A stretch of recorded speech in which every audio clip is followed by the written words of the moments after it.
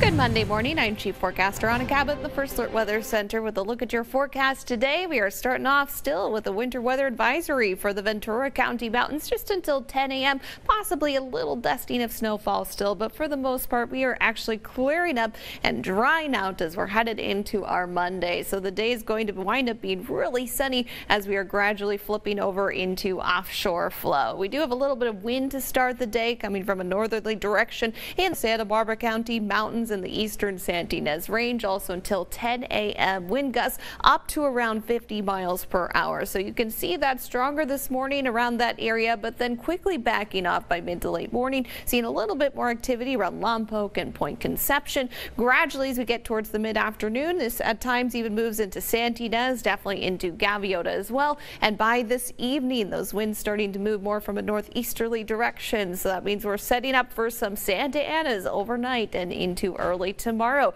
We also have some high surf out there. So as we take a look at this, this until early tomorrow morning. Advisories for the Central Coast and Ventura County coastline. Beach hazard statement out on the south coast as well with elevated surf and really strong rip currents. Temperatures today for the south coast mild into the mid 60s. We have about 65 degrees for Santa Barbara. Santa Ynez Valley for you in the low 60s. Low 60s across a lot of the central coast, but even cooler for the interior. Some of you in the 50s out there. 61 1 degrees or so. If you're in San Luis Obispo and Ventura County, going to be nice and mild for you, mostly in the mid 60s today, reaching about 65 degrees or so in Santa Paula. Have a fantastic start to your week.